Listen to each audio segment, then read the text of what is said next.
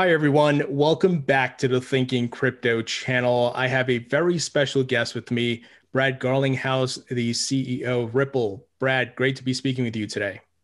Tony, honored to be here. Thanks for inviting me and uh, putting a lot of questions out to let people participate. That was great. Well, Brad, you know, everybody wants to talk to you about Ripple and XRP, but I want to take it things back a bit and I want to learn about you and where did you grow up? Where are you from? I'm originally from Kansas. Uh, I grew up there, uh, born there, went to college at the University of Kansas. a, a, proud Jayhawk, although I sometimes have to pretend we don't have a football team. Uh, it's just all about college basketball. Um, but I still describe, even though I've lived in California now for 24 years, I still describe myself as a Kansan first and foremost. Got it. And you know, tell us about your time in Silicon Valley. You were at AOL, you were at Yahoo. You know, how did you get started in Silicon Valley, and how did that lead to you ending up at Ripple?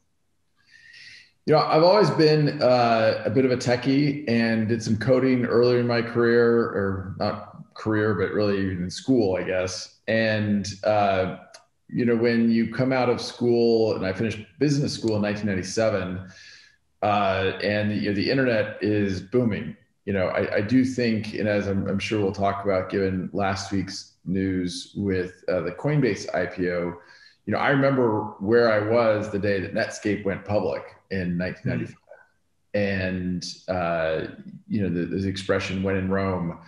You know, if if you were interested in this segment of the economy in you know the, the late '90s, you you wanted to be in the Bay Area uh, and in Silicon Valley, and so I I moved out here in 1997, and as you pointed out, I've done a, a few different uh, positions at smaller companies, bigger companies, and spent a little time on both the investment side of the world as well as the operating side.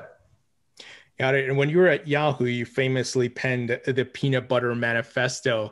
Can you tell us a bit about that and where you see Yahoo today, given since you penned yeah. that letter? you know, look, I'll start by saying I have such a fond set of memories from my experience working at Yahoo. The the people, the culture, in many ways, was just a, a really fabulous time uh, I, I, do think, like many companies, uh, you know, you spread yourself thin. You get excited about new opportunities, and uh, you know, at that time, uh, you know, Yahoo, I think was a little bit confused about what it was trying to be, and you know, was it trying to be a search engine? Was it trying to be a content platform with you know Yahoo News, Yahoo Sports, uh, Yahoo Finance, and even fantasy sports stuff? And then, of course, Yahoo had a robust set of kind of application products like Yahoo Mail. At the time, Yahoo Mail was much bigger than Gmail mm-hmm. and actually uh, continued to grow after Gmail launched quite substantially. But, uh, you know, it, it's sad for me to see kind of what has, has got Yahoo now, as many people know, has been absorbed within the, the Verizon media empire. And, uh, you know, I think relative to where it was back in the, uh, early 2000s, you know, it's it's not quite the same. But I'm I'm still a loyal uh, user of some of the Yahoo products. Wow, I, I was actually I heard some news recently of Yahoo Answers. I think they're sunsetting it, which kind of made me sad. It's such a huge part of the internet legacy. Yeah, yeah. I think that Yahoo Answers is one. You know, Yahoo Groups used to be in my group at Yahoo. I, I ran everything from the homepage to Yahoo Mail and some other things, and Yahoo Groups was in my uh, organization, and we we actually sunsetted Yahoo Groups when I was there. And the reason was, and I think the reason I'm bringing this up is I, I think you know the the internet and the social media as we know it today could learn from this. Yahoo Groups, we realized that our ability to uh, the, the cost relative to the benefit of monitoring Yahoo Groups for the abusive behaviors and illegal activity uh, made it untenable. Like we couldn't really operate the service uh, efficiently. And as I have said very publicly, and I think you may know, I sued personally. I sued YouTube, and Ripple sued YouTube because so many people are impersonating me uh, using Ripple's brand to scam people. And you know, I think a number a number of the social media platforms really uh, can and should be more a part of the solution than I think they have been. I think that the platforms have been abused in ways that have, you know, uh, hurt society in some ways. And um, you may also know there's a really powerful documentary on Netflix called The Social Dilemma, mm. which I thought was, you know, really impactful and uh, made sure my kids watched it.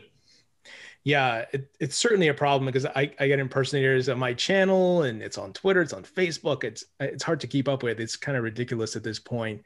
Um, hopefully your lawsuit is going to force some changes, but we'll see what happens. Yeah, um, I think it brings attention to it. I don't think it's going to, you know, force changes, but I think uh, what I find most frustrating, which sounds like you've experienced also, is you identify someone representing, you know, pretending to be you and trying to scam people, and you report it, and you know, it takes days and sometimes even weeks for it to come down. I actually had one time that was kind of funny. I did tweet about this. It was quite some time ago, but I reported a fake account on Instagram with someone impersonating me, and Instagram wrote back saying, "Hey, we've looked into this. Thank you for reporting it. We take it seriously, and we concluded that this is not an impersonation." And she's like, "Wait, that's a picture of me." Got to be kidding right now. Well, certainly the industry that we're in, blockchain, uh, could certainly solve that, right? If if the profiles were created and tagged to the blockchain and that verification yeah. is there. You know, it's kind of funny you mentioned this. When I first joined uh, Ripple, and I just passed my my six year anniversary of the company, we actually were working on three different. Uh, you know, but also interrelates to the peanut butter manifesto comment, but Ripple is working on three different kind of go to market initiatives, leveraging the XRP ledger. One of them was uh, a global ID project, the idea of using a blockchain mm-hmm. for identity management. Uh, the other one's a smart contract platforms is I think you know somewhat infamously Vitalik Buterin uh, spent some time as an intern and sleeping on the couch of our CTO at the time, Stefan Thomas. And the third was uh, payments related, and particularly cross-border payments. And we decided to pick one and focus. And it was kind of the lesson I had learned around the Peanut Butter Manifesto of really, you know, decide what you're going to be great at and invest heavily and, grow that segment. But the, the global ID, to your point, the, leveraging a blockchain for identity management, I think, is a very real opportunity. I think it's a hard one to do well in part because you know whether we like it or not today the government owns our identity right? If you say to someone hey verify your identity generally you're going to look for a passport some sort of state issued identification a birth certificate. You know all those things are issued by the government. And so i think to do identity well today i think there has to be some collaboration and partnering with government entities, which makes it uh, maybe a little harder to scale and grow in the way that I, I, think some technologies can. Sure, and I'm assuming you're up to speed with uh, what Greg Kidd is doing. Um, obviously, a Ripple investor and Global ID and the work they're doing on that front. Yes, and uh, look, nothing would make me happier than to see that be massively successful. Uh, to, to, the point you and I were just talking about, it, it would help you know the, the Instagrams and YouTubes of the world would point out how hard their job is. And if Greg Kidd and team are successful, I think that's that's good for those platforms also.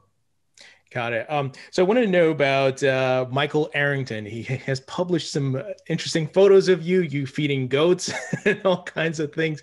How did you become friends? And uh, are we expecting more releases or uh, ICOs or something of, of your photos? God, I hope not. Is an NFT of the goat photo, or, or the, the, Boy Scout photo was the particularly embarrassing one. But you know, Mike, I consider a good friend. I've known him uh, probably a couple decades, and you know, kind of early on in his creation of TechCrunch. Um, a, a, a, Ripple employee who now works at Ripple named Kirsten Holler was first introduced Mike and I, and you know, one of the things I've always liked about Mike is he he will speak truth, and even if it's a controversial truth, you know, his truth sometimes. But you know, I think sometimes uh, that's uh, an underappreciated uh, perspective on in other people, and so. I may not always agree with Mike, but I always respect his opinion, and I always uh, have, you know, appreciated his friendship, and uh, really enjoy spending time with him. So, on that note of uh, photos of you and things along those lines the dichotomy of working at yahoo and being in silicon valley to now being head of one of the companies that is getting maximum visibility, and now you have memes and conspiracy theories. And I'm so curious to under, get your perspective. How do you feel about that? How do you and Chris and the other folks at Ripple, and how do you handle that? Well, I'm going to maybe answer that a couple different ways. I mean, for what it's worth, I, you know, I view myself as a pretty private person, uh, and I, you know, my my personal side of my life, I try to keep pretty private. Um, you know, look, I, I have been vocal, and I I don't try to be private as it relates to my professional position, uh, and I've certainly been vocal about my strong opinions around you know what's going on in the crypto industry. Uh, regulation is certainly, I'm sure, something we'll spend a good amount of time talking about. You know, most of the memes I just find to be comical, and you know, look, I, I admit sometimes I, I, have a sense of humor and I like to have fun, and so I think sometime maybe it was over the weekend or maybe last Friday, you know, I was reading Twitter and there somebody was talking about that there's going to be a movie of th- this story, which would not surprise me at this point. Nothing would surprise me. Uh, and I just was kind of joking around just to see who people thought would play me in a movie, uh, which there's some pr- pretty funny answers out there. Got it. Got it. Um, so I want to ask before we go into the SEC and Ripple and XRP and so forth, you know, what was your first encounter with cryptocurrencies? Was it Bitcoin? How did you hear about it? And, and what are you holding in your crypto portfolio? You know, I attended a conference hosted by a gentleman, Auren Hoffman and Peter Thiel called Dialogue and the conference has kind of evolved since uh, the earliest days. But it was a conference in Utah, uh, 2012 or 2013, and uh, th- there's various kind of. It's, it's not so much a conference where you have you know a presenter presenting something to 100 or 1,000 people. It tends to be you know, group, a small group of maybe 10 or 12 people around a conference table where one person has been designated as leading the dialogue. And, you know, there's topics that you always know nothing about. And it's an interesting cross section of government, even some military and techies. And uh, there was a session in 2012, 2013 on Bitcoin. Hmm. I'd never heard of Bitcoin. Uh, and, you know, some of the people who I consider uh, the people I respect the most, even today, as early uh, visionaries around what Bitcoin could mean and what digital assets could mean. Uh, and you know, I, I remember returning to the Bay Area after that uh, conference and buying some Bitcoin. And uh, you know, today I, am you know, I've talked about the fact that I'm long Bitcoin. I remain a, a, a, bull, and I'm, I'm, frankly very bullish on the, the, future of Bitcoin. And then, of course, I have you know plenty of exposure to XRP as another digital asset. Got it. So no Ethereum, nothing else, no no Cardano or anything like that. You know, look, I, I'm just not, I don't view myself as a trader. And I think, you know, some people who, you know, uh, are, are they're traders and they're you know, doing lots of these different things. I, I am very busy with all things Ripple, and so I think to do that well, you kind of have to pay more attention to what's going on. Uh, I, I, guess I am miss. You know, I, one thing I should have in full disclosure before I joined Ripple, uh, I was an angel investor in a company called Protocol Labs, which uh, is behind Filecoin. So I think I have exposure to Filecoin also. Got it. All right, let's switch gears and talk about the SEC lawsuit and everything that's going on. I have quite a few questions, but things are moving so fast, so rapidly. And could you give us a state of the union here of like where are we at? What, what discussions are you having with the SEC right now? The case, and all of that if you can. Sure, and you know, look as as you and I talked a bit as we organized this, you know, there's some questions I may you know explicitly dodge and just say, and there's others I may just you know kind of answer around it. You know, suffice it to say, I think it's very clear, and what I said at the very beginning of this, when the SEC announced their intent to bring the lawsuit, uh, I think the SEC is wrong on the facts. I think they're wrong on the law. Uh, I think how we have seen this play out is demonstrating some of that. Uh, you know, this is not a. It, I actually agree it has moved, you know, a, reasonably good clip. Uh, you know, but by the same token, the the engine of the justice system isn't necessarily you know super fast, and so uh, you know we, have got a long way to go. Uh, I, I, remain hopeful that you know as time progresses, there'll be additional opportunities to engage the SEC in conversations about what could be a constructive outcome here. That's you know provides the clarity uh, that frankly Ripple and I have sought for a long time, and even you know pounded the table about. Uh, but but also give the, the entrepreneurs and investors and here in the United States the ability to participate in these markets and continue to grow them here at home. Uh, you know, there have been a couple of pretty consequential rulings from the court in the last uh, couple three weeks. Uh, you know, I think the, to me the most important one amongst those was the the judge's uh, decision to allow discovery around uh, the SEC's decision to de- determine that to, to, publicly state anyway that Ether is not a security mm-hmm. and that Bitcoin is not a security. Um, and you know, like I, I, think it's even interesting, like why they wouldn't, why they fought that. Uh, you know, if we want to provide clarity and transparency to the market, let's provide that. Let's actually do that and so uh, you know I was pleased that you know the, the judge ruled in our favor on that one. Do you feel there's some sort of conflict of interest here on Jay Clayton's part, given where him and Mr. William Hinman, um, the places they find themselves now at with in connections to Ethereum and so on and so forth? Yeah, Look, suffice it to say, it's super frustrating. Uh, you know, obviously, this was a decision that was made on literally the day before Jay Clayton left his position. Uh, I think it's very clear Jay Clayton uh, was not a friend to the crypto industry, and uh, I think this was a you know, the, I think his legacy will will show that and doing this day before he left, I, I, don't know. I'm not really that much of a conspiracy theorist. Certainly, the optics on some of the decisions that uh, that Jay Clayton has made since then, and certainly Bill Hinman has made since then, it don't look great. You know, the fact that Simpson Thacher is a member of the Ethereum Enterprise Alliance, and you know he's getting paid by Simpson Thacher while he's there. You know, those things don't look great. But you know, I, would like to believe that you know now that we are in front of a neutral fact finder or in front of a court, that you know we'll get to the right outcome.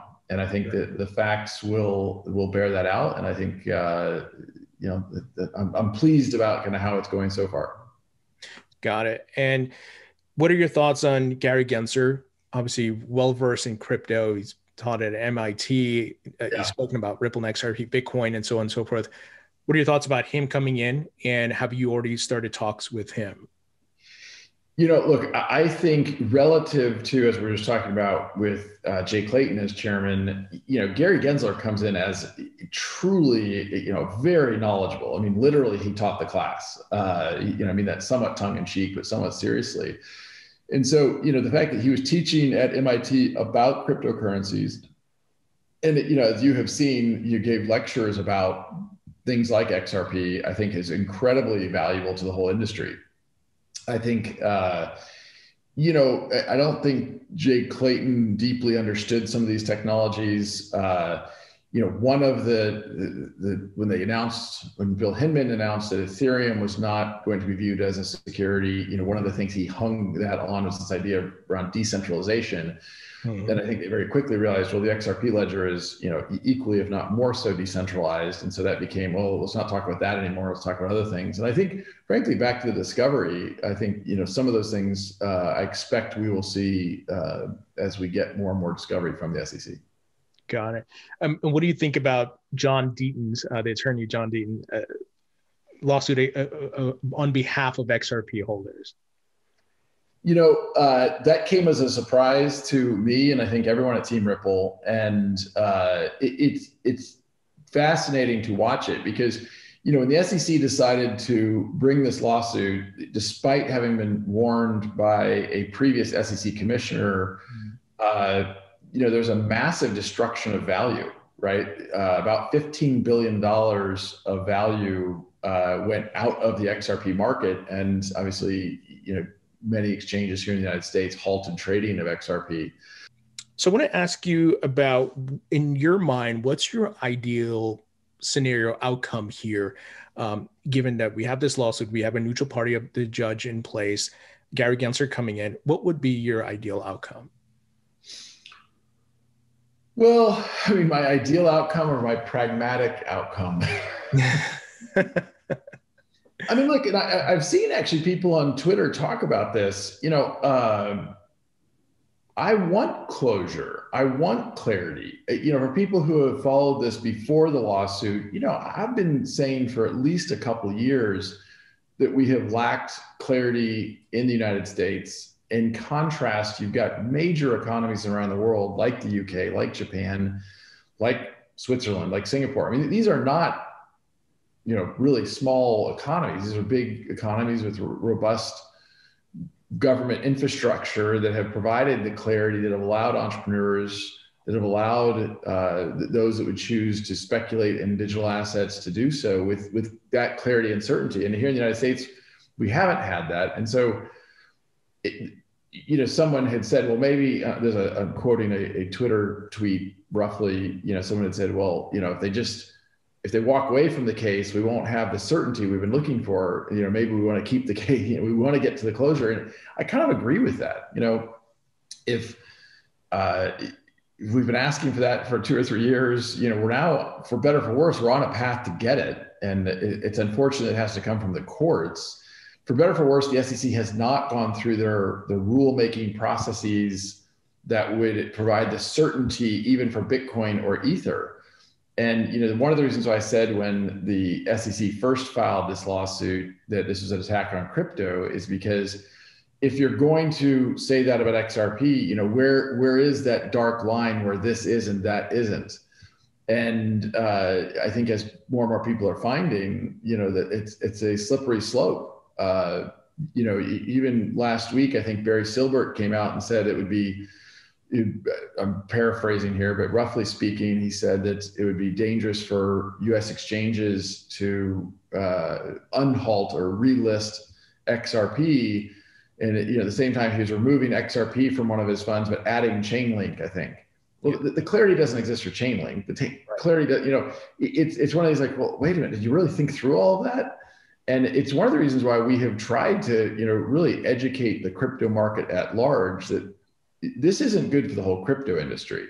Right. And you know, really, it, it's I think how do we all work together and and help create legislation, help create that clarity and that certainty. So uh, my ideal outcome, clarity and certainty uh, are first amongst them. You know, how do we get there? Well, uh, as quickly as possible uh, I want to get there with the SEC so that uh, Ripple can operate effectively, so that lots of other companies that are operating in the XRP ecosystem can operate with that clarity and certainty. Uh, but you know, at this point, given they have decided, they did decide to file the lawsuit, I, I, I think we, we need to either reach a clear settlement that provides that clarity and certainty, or let the judge make that decision. Sure. And do you see another avenue? Let's say the SEC can't get their act together for whatever reason, that Congress has to step in here with a token taxonomy act or change the law or President Biden, whatever, just something happens on that front. Do you see that as a possibility as well? Oh, for sure. Uh, for, for uh, zero doubt about that. I mean, you know, when, when there aren't clear laws, it's Congress's job to provide clearer laws. And, you know, to the extent I have anything nice to say about the SEC today, you know, they, they are uh, there is a rulemaking process through which they could go about. They chose not to do that and use enforcement as a way to try to create clarity, which I think is extremely inefficient and you know really bad for in this case Ripple and really the entire XRP community. But you know there was something called the Digital Commodity Exchange Act introduced in the last session of Congress uh, and in the I think agricultural committee. Um, and I, you know, I, I, hope that either that or something very similar. And it, I'm not sure anything's been introduced yet, but I expect there will be new efforts to solve this uh, through legislation. And I think that could be even a more efficient path than what we're dealing with through the court system, because the court system will make a determination, assuming it gets all the way there, about XRP and did Ripple engage, or did I personally, or Chris Larsen personally engage in selling unregistered securities? But that won't solve the problem for everyone else. It'll provide a precedent. But really, I think you know if we could get clarity through legislation, that could be very powerful for the whole industry. And but one more thing, and I know I'm rambling a bit. Just bear with me one sec. You know, having been a student of the internet back in the late '90s, one of the reasons why the United States was such a early investor and leader in the internet technologies and companies around it is because there was that clarity. There was certainty. Sure. and when you have those things investors and entrepreneurs come into those markets. And instead what we have here in the united states we don't have those things. And so you see a lot of that happening outside of the united states which i think is unfortunate uh, you know for for here in the united states. You mentioned the uk having this a very clear tax, you know, they, I think they called it the, the uh, Token Taxonomy Act or something like that, you know, that really differentiate different assets by use case, uh, which I think is, you know, did provide leadership in the UK. And I think Singapore has provided a lot of leadership in Japan as another example. Uh, so on that note, you know, with the lawsuit and all, uh, you, you remember you tweeting something about getting some more gray hairs and things like that. You know, obviously a stressful situation. um, has Ripple lost any customers? Has this put a roadblock in gaining new customers? Can you tell us about that? Well, look, I actually, you know, there's a little bit mostly good news here. You know, I think we publicly have shared that we've signed over 20 new customers since the SEC brought their lawsuit. Uh, you know, we processed about 3 million transactions last year on RippleNet, which was, you know, up 5x year on year you know, we expect continued very strong growth this year. And so, uh, in a lot of ways, I feel really good about that. Um, about well over 90% of our customers going into this lawsuit were non-US customers. Uh, and you know, of the 20 plus that we've signed, none of them have been US customers, not surprisingly. So look, Ripple has always been a very global company. As we talked about earlier, XRP trading has always been very, very global with you know XRP liquidity on about 200 exchanges around the world you know, we have though it has caused some headwinds, you know, here in the United States. You know, very well known uh, our partnership with MoneyGram. We both kind of mutually agreed to step away from for the time being. But we also, you know, as I already commented, we've been able to grow in some ways accelerate our growth. Uh, we've made a couple big deals. One, uh, Tranglo, we agreed to acquire about 40% of a, a pretty pretty large uh, payment provider in Southeast Asia. Uh, they provide they do about 20 million transactions a year and about four billion dollars of value. So, uh, you know, we, we, hired an amazing leader in Southeast Asia, Brooks Entwistle, uh, who you know, joined us from uh, Uber, which has been uh, you know great to kind of uh, jumpstart some of that leadership as well. Yeah, no, I so you mentioned Tranglo. I also saw Novatti is is if I'm saying that right, is a new customer of yours. They will be leveraging ODL. Correct. Yeah, I mean, look, ODL on demand liquidity is the product we offer that allows customers to tap into XRP as a way to shuttle liquidity. Uh, you know, our customers have loved it. We have a lot of demand for it. Uh, you know, obviously, the, again, the, the SEC's actions here in the United States have kind of stymied that, but you know, Azimo, Novatti, um, you know, these are all customers who are benefiting from ODL and uh, even despite the SEC's actions, continue to do so. So I want to ask about, and I know you, you probably can't talk a lot about this because uh, things are under NDA and, and all that, but I'm certain you're, you're, you're speaking to banks in the United States and payment service providers in the United States. Uh, uh have those conversations been put on hold, you know, given the lack of clarity as a whole, even before the lawsuit?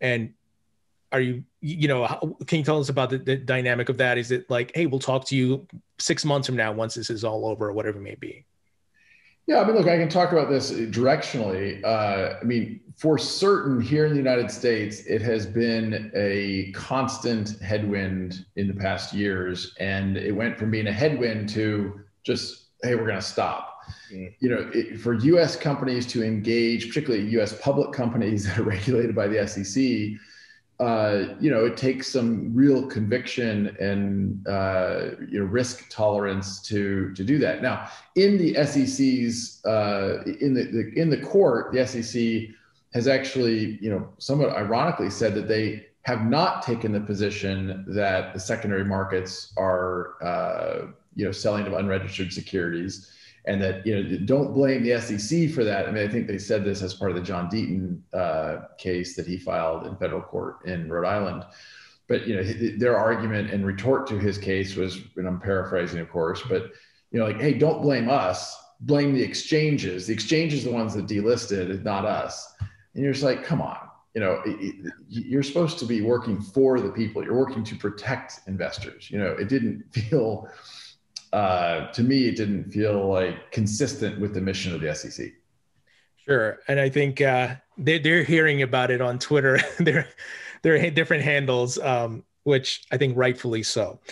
Now, you know, given uh, the, the evolution of Ripple as a company, the adoption of XRP worldwide, different companies building on the XRP ledger, so on and so forth. What's the vision as of today uh, for XRP? Is it still the bridge asset use case, micropayments with Coil, web monetization, things like that?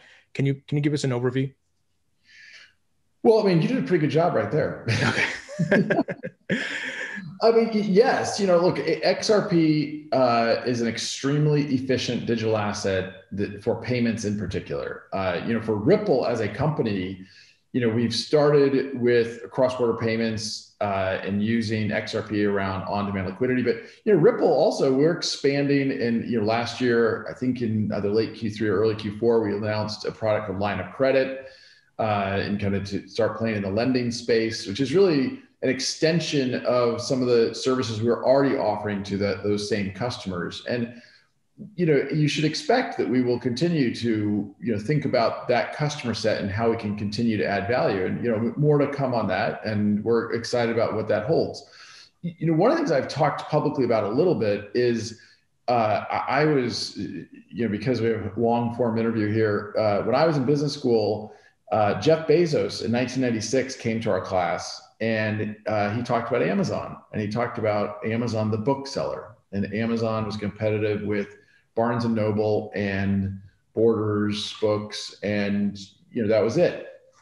And I've said that you know I view Amazon is to books as Ripple is to cross-border payments uh, as something that I do believe there are many compelling use cases. There are many compelling vertical opportunities, vertical markets to apply blockchain technologies to. And the XRP ledger is an extremely efficient blockchain.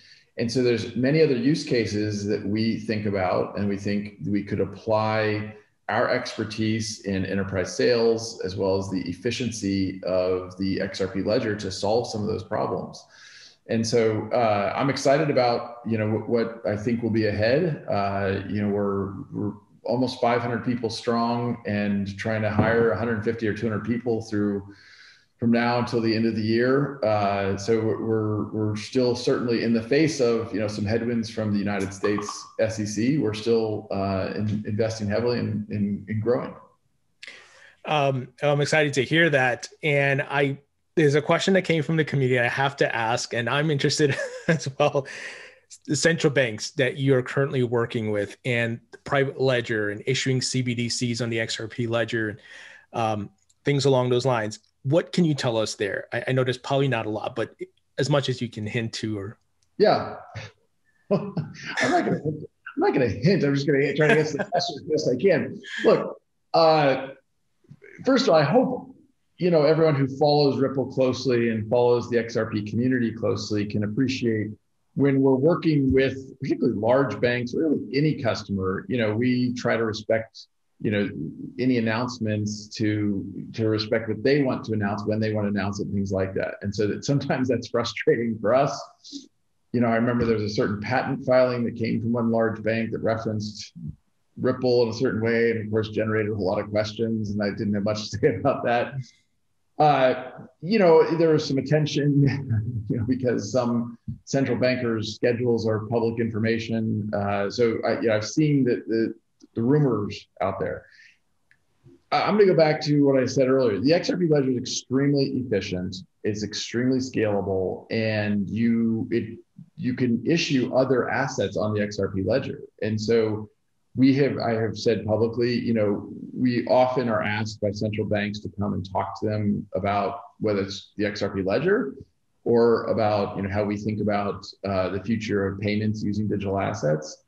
Uh, and you know, because of our unique position with you know really compelling technology and the, the ability to offer a private version of you know the open source technology as XRP Ledger, you know, central banks can manage and create and manage their own digital currency. So uh, again, we haven't been shy about the fact. Yes, we're having the conversations with many banks, many central banks around the world. Uh, you know, we did some research. I think we publicly shared that you know we think about 80% of central banks around the world are actively investigating one way or another what CBDCs could mean for for their technology or for their uh, economy. So uh, you know we'll we'll continue to do that, and when we have announcements, we'll certainly do so. So I recently interviewed Chris Giancarlo, former CFTC chairman, heading up the Digital Dollar Project. What are your thoughts on? Look, China looks like it's beating the U.S. at this point when it comes to a CBDC, and uh, do you see I, the dollar losing reserve status as a result? And and look, uh, this is a small island countries that have got their CBDCs live already. What are your thoughts on the entire situation? Well, I guess first of all, I, I don't think it's fair to compare a digital, a, a, tokenized dollar to you know what some small economies have done. You know, that's it's just like not even the same. You know, it's a much more complicated topic there's no doubt in my mind that uh, the, the, Chinese Communist Party has been very strategic and I think very smart about how they have approached this.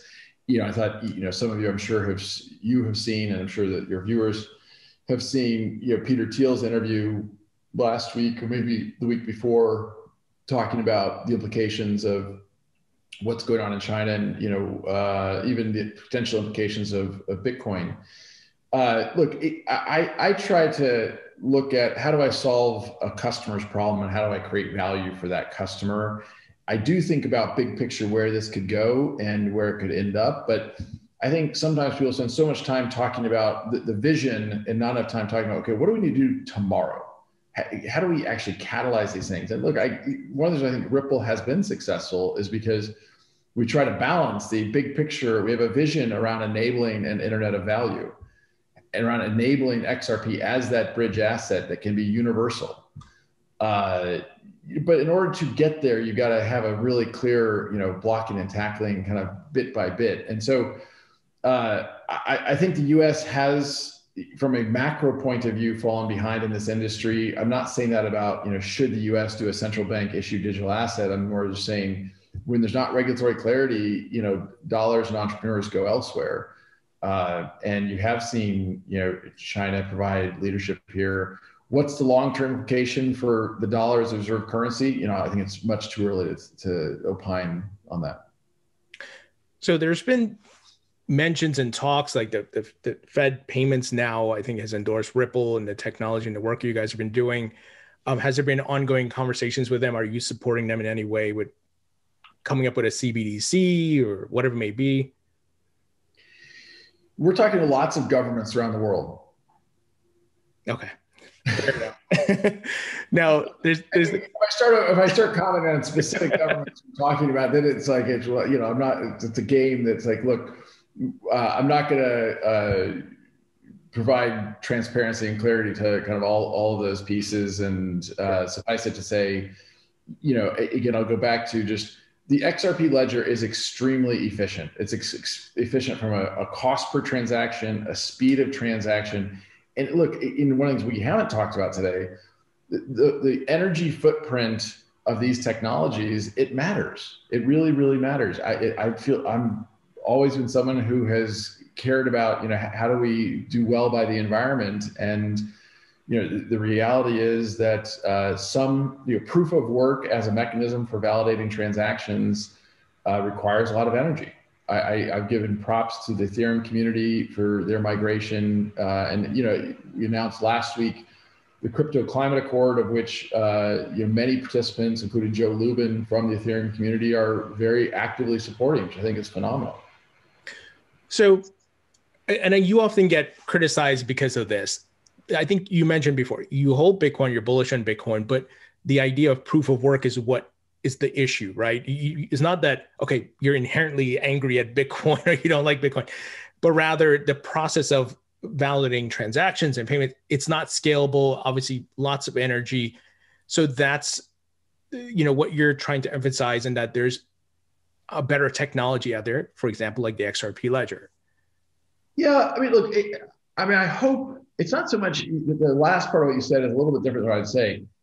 But one of the things I believe in life is that the first step to solving a problem is admitting you have one. Hmm. And if you don't admit something's a problem, then you don't focus on solving it. And I, I think, uh, you know, when I, I, get criticized for a lot of things, so some of them, some of them I, you know, I don't even know what to say about some of them, but you know, this is one where it's like, look, I, I'm not, I'm very bullish on Bitcoin.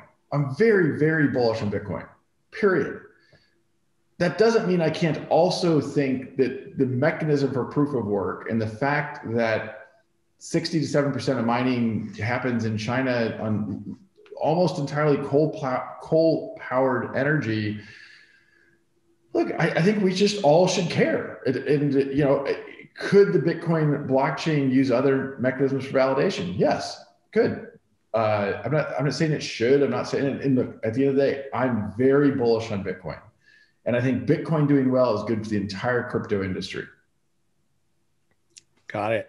Now, there's a question that came from the community about the XRP escrow. This is often a hot topic of discussion. And, you know, after doing, doing a lot of research and understanding the escrow and, and the setup that you, you have there, um, what's the plan for the escrow moving forward? And could that, could there be, there's a question that comes up, could you burn some of it? Is that a possibility? Distribute it to other authorities, whoever I don't know. What's the plan there and the vision for that? Well, look, first of all, I, I think there's some um, two answers to this. One, there's some misinformation out there, right? I mean, some people like to position the escrow somehow Ripple dumping XRP in the community. It makes no sense for Ripple or any of the people around Ripple to dump XRP, right? That's not in the best interest of XRP ecosystem, of which Ripple is a very important piece, as as am I. Uh, so you know, look, I, I think uh, the way the escrow was set up, it was done in intent in, with the intent of let's provide maximum transparency. Mm-hmm. Let's make sure that people totally understand what's happening here. And you know, I, I have used it as kind of a, a call to action for others in the crypto industry to be equally transparent and you know, in some ways, I think that transparency has come back to bite us a little bit, ironically and frustratingly. But look, I'm always open and interested in new ideas that are good for the XRP ecosystem. I don't rule anything out, uh, and I think to the extent that uh, there's things that make sense for the XRP ecosystem, then certainly Ripple would look at that. Um, where do you see Ripple in three to five years? Well, I mean, you know, I'll, probably borrow from a couple things I've already said. You know, at, at, the most macro sense, Ripple has had a vision that Chris Larsen articulated, and I remember interviewing him, interviewing with him uh, when I joined the company, and you know, from that first meeting, you know, he talked about this idea of an internet of value to truly let value move the way information moves today, and I think we, we all have been kind of desensitized to how much friction there is in payments in all aspects of our lives. And if you really can reduce that friction to zero or close to zero, I think you can unlock a lot of compelling opportunities. Uh, and you know, that that vision around Ripple has has not changed. And I think mm. certainly we think about you know how do we go from you know, moving billions of dollars through RippleNet and billions of dollars through our on-demand liquidity product to you know add zeros behind that. And over the next three to five years, we hope we can, can grow into those. But also, as I said, I think, you know, we think about how to leverage the XRP ledger or other compelling use cases. And uh, there certainly are some that we are investigating. There's some that we kind of watch. There's some that we've invested in. You know, I think we very publicly shared that I think if not, if we aren't the largest independent investor in uh, crypto. We're, we're close to it, and uh, we invested a lot of other crypto projects. Some of them don't involve XRP uh, because we think because I, I, genuinely believe like all boats can rise. Sure. Um, so I have to ask this question because we had the Coinbase IPO this past week, and I want to get your thoughts on that. And when Ripple IPO? Look, I said 14 or 15 months ago at Davos, uh, the World Economic Forum, I said, look, I, I, didn't think Ripple would be the first crypto IPO. And I also said, I certainly think we'd be the last. You know, I think, I do think the Coinbase IPO is kind of a Netscape moment for the crypto industry. And I think we're going to continue to see an immense amount of value created over the next, I'll say, 10 years in the crypto industry. And I think Coinbase was kind of a, a harbinger of things to come. Uh, now, the, the, tricky part for the, the, Ripple part of that question is, you know, the, the United States, if we were to go public here in the United States through an IPO process, uh, the United States Securities and Exchange Commission has to approve that. Uh, as you may have noticed, we're in a little bit of disagreement right now with the Securities Exchange Commission. So I think uh, we need to resolve one before we spend too much time on the other. Got it. Um, I'll, I'll leave it at that. Uh, there's another question, but I don't think you probably be able to answer it. Um, all right, I want to switch gears a bit and talk about the market as a whole. Um, obviously, we, we're in a bull market. We had a run up, but a huge correction uh, over the weekend, um, but it seems to be recovering a bit. You know, what are your thoughts on how the market has grown and since you entered in and started working at Ripple, um, and and Bitcoin? I think getting a lot of adoption people putting on their balance sheets, accepting as payment. Tesla, uh, we just heard Time Magazine doing the same thing. What are your thoughts on on that? Well, so look, if I step zoom out as as far as possible, you know, to when I got well, I first got exposed to Bitcoin uh, at the Dialogue conference uh, years and years ago. Like, wow, you know, we're somewhere I don't know where we are today, but we were at 2.2 trillion dollars uh, within the last you know handful of days. Uh, and I think you know the, the, breadth of activity from the developer community is just astoundingly positive, and I think you know bodes extremely positively for for what's ahead. Uh, I, I, also think, and as many people you know predicted, and part of the the vision for some of these technologies, you know, you have M2 money supply here in the United States grew about 25% year on year uh, I expect, given the stimulus we're seeing happen right now, we should expect it to grow about another 20 or 25% next year. Uh, when you take an asset and you make a whole lot more of it and you devalue, you know, what was already there, and that's called inflation. Uh, and so I think there's going to continue to be some macro trends which are very positive for uh, the crypto industry at large.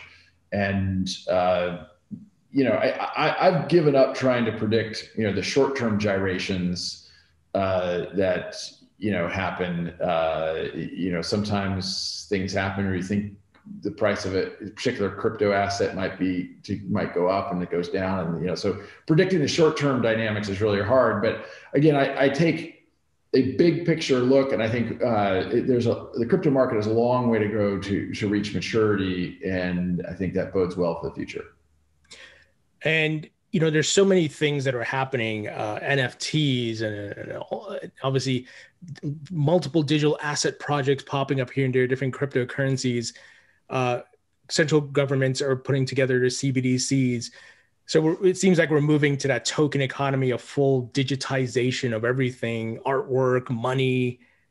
And and uh, you know i want to get your thoughts on that because you're on the building side and and do, do you do you see anything new on the horizon that you guys are paying attention to? Like, you know what? I think this might be the next thing that might be big and in the crypto industry and blockchain industry. I mean, uh, I'm going to dodge that question. I'm just going to tell you right now, I'm dodging that one. Okay. It's not because I'm not trying to answer. It's like I, I'm not going to, uh, you know, share. Here's what Ripple thinks are the, the next kind of big misunderstood or not fully seen opportunities look, I, I, think NFTs are here to stay. I think, uh, as you said, the, the, tokenization of many, many assets, I think, is underway, and I think that's exciting. I think it does go back to something we talked about earlier around the, the, the energy consumption of proof of work. You know, if you have you know, I, I think the, the opportunity in NFTs is really around the longer tail where, you know, it is going to matter if you have $50 of gas fees associated with an NFT transaction, like that, that's going to limit the market. It doesn't matter when you're buying, you know, a hundred thousand dollar piece of artwork, but it does matter when, you know, it might be, you're, you're trying to trade a hundred dollar baseball card. So, uh, I think you know I, I, didn't see the explosion around NFTs coming, if you will. Uh, it certainly has exceeded my what I would have guessed, but I also am a, I'm a big believer. Uh, you know, to your point, you know, you've commented a couple times around you know pe- more and more people accepting different crypto assets as payment.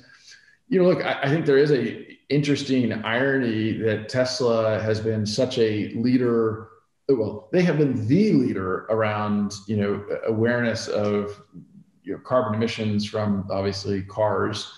Uh, yet, by the same token, uh, you know, understanding the implications of Tesla and SpaceX and Elon Musk, who clearly has done more for protecting you know the, the planet from carbon emissions than probably any other person that I know of, then leans into you know, uh, an existing framework that is uh, around proof of work that you know produces a lot of carbon. So, you know, I, I think that, that, that, what we saw with companies like MicroStrategy uh, and Tesla, when I think I tweeted out when MicroStrategy uh, announced what they had done, I think I tweeted out something like they may be the first, but it certainly won't be the last. And I think that still remains true today.